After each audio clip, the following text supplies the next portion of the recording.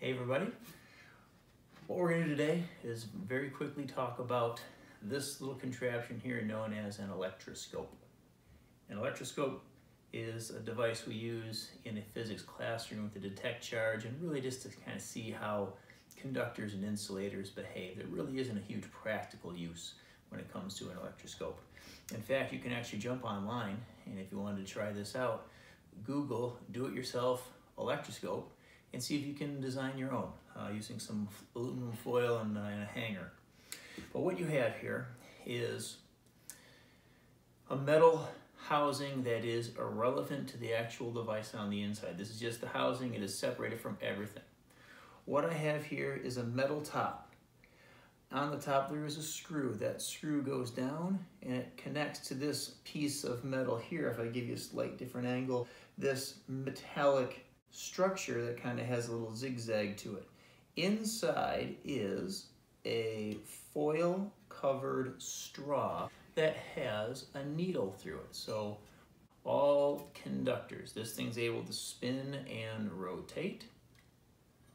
And once it's balanced out there, all of this is one continuous piece of metal. This is separate.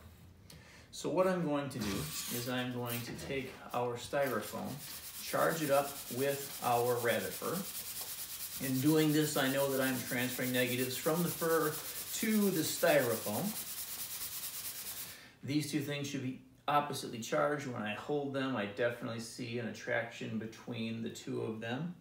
And so what we know from our experience in class is that this right here is a negative source.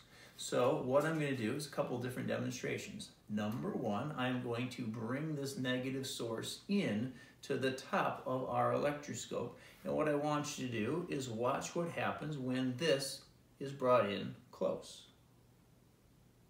We would say that is a deflection. Take it away, and it goes right back. Okay?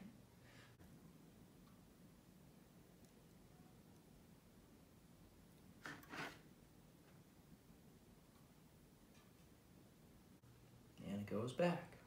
So that is uh, phenomenon number one. Number two, what I'm going to do is I'm going to bring this in. I see that it deflects. And while it is deflecting, I'm going to bring my hand in, and my hand is going to touch the top. So I'm going to reach in, touch the top, and I see that it goes and it is no longer deflected. I take my hand away, and it deflects again. So two different phenomena that you are going to describe. Why is it that it deflected in the first place? And why is it that when it was deflected and I touched the top, what is it that my hand did to make this continue to deflect?